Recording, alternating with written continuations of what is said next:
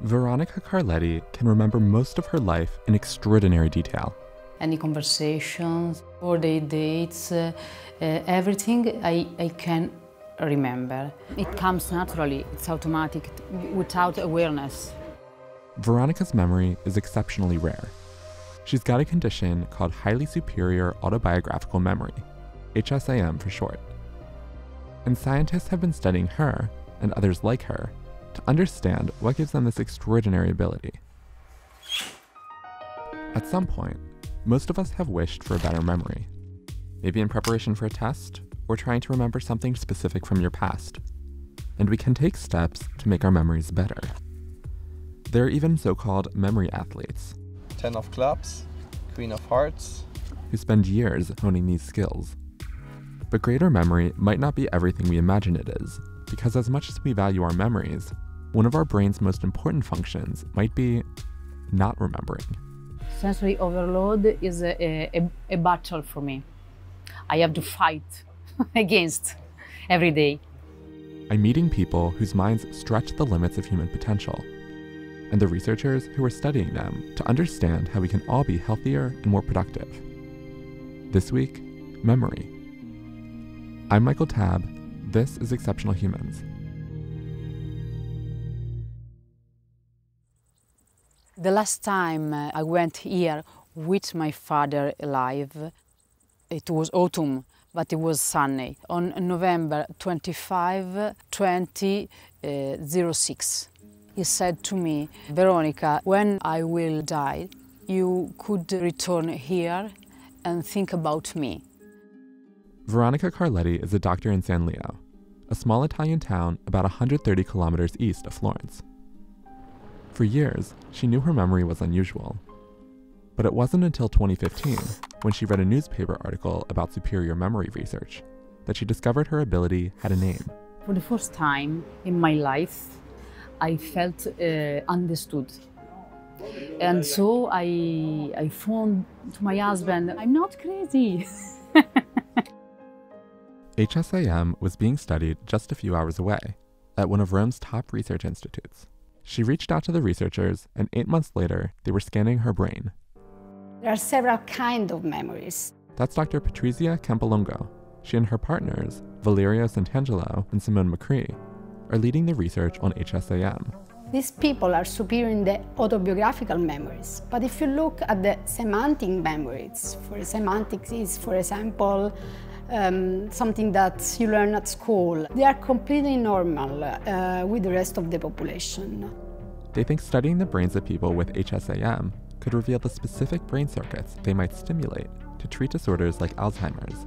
We can transfer the knowledge to people that keep forgetting, they don't remember. On the other side, we can help people also when there is memories uh, excessive, like PTSD, depression. The research on HSAM started 20 years ago at the University of California, Irvine, when Dr. Jim McGaugh received an email from a woman claiming to remember every day of her adult life. I asked her uh, to tell me what she did on the last 20 Easters, I think it was. And she told me what she did on each of those Easters, and she's Jewish. McGaugh eventually met her and began studying people like her. Within a few years, McGaugh found several others scattered across the US. In 2010, many of them appeared in the same room together for the first time for an episode of 60 Minutes. A 7.1 earthquake hit the San Francisco Oakland area on October 17th, 1989. Tuesday. I remember we were watching the game of the World Series. It was Right, we're all like, agreed on oh my gosh. McGaugh is now retired, but his research is being carried on by Dr. Campolongo. So far, she and her colleagues have identified a few dozen people with HSAM. My daughter, she is uh, uh, six years old, and uh, you know, as soon as I I see her having uh, experiencing something, I remember exactly when I had this kind of uh, experience and when I was a kid, and everything comes out uh, in a very detailed way. I don't want to forget anything, negative things too, because they belong to my life. Do you worry about not being able to remember at some point in your life? Yes, Am I a superman or uh, a human freak? Till now, I don't have an answer. Aside from their exceptional memories, people with HSAM don't seem to have a lot in common. Researchers have found that HSAM doesn't make you smarter or more successful. And although it's not a disorder, it often seems intertwined with other disorders. People who have it often score highly on tests for obsessive compulsiveness. But there's still a lot to learn about how it works. We have a basic understanding of how normal brains form autobiographical memories. All of our perceptions, everything we see, hear, smell, feel, and taste, gets consolidated in the hippocampus. After encoding memories, the hippocampus sends them back for storage throughout the brain. And it sends the prefrontal cortex a record of how all the different memories are interrelated. In people with HSAM, it's a little bit different. First, you access your memory. Second, you relive your memory. During the reliving part, more or less, their brain behaves as our normal brains. Yet what varies a lot is the access phase. Their brains just uh, works in a completely different way. People with HSAM have stronger connections between their hippocampus and prefrontal cortex. But there are some people who have remarkable connectivity between these regions and don't have HSAM, like memory athletes. Memory athletes train for years to memorize decks of cards and strings of numbers faster and more accurately than their competitors. And the training actually changes how their minds work. My research is focused on what's happening in your brain if you train your memory. Boris Konrad is a memory athlete and neuroscientist. He memorized this deck of playing cards in 81 seconds. Begins with six of diamonds, nine of hearts, two of clubs, two of hearts. He did make one mistake but got it right the second time. Just six weeks of training these methods is enough to shift your brain connectivity towards that of a memory champion, along with your memory improvement. The basic principle is to come up with images, to transform something that's really hard to remember, like numbers, playing cards, or a foreign language, into something your brain already has a system to deal with. They're training semantic memory, which is completely different from autobiographical memory. A popular technique is called the mind palace, here it is being not so accurately portrayed in the show Sherlock. Everyone has their own technique, but here's an example. Say you're trying to memorize these six playing cards in order. Use a standard mnemonic to turn each playing card into a distinct object. And then combine those objects into a scene. So you might imagine a deer wearing a fancy clip chases a clam before tripping over a spool of thread getting dirt all over your new clogs. It's ridiculous, and that's kind of the point. It makes it memorable.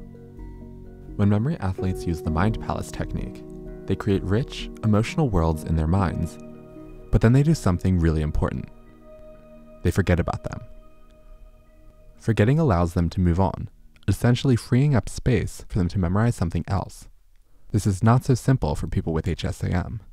The worst period of my life was when I um, attended university.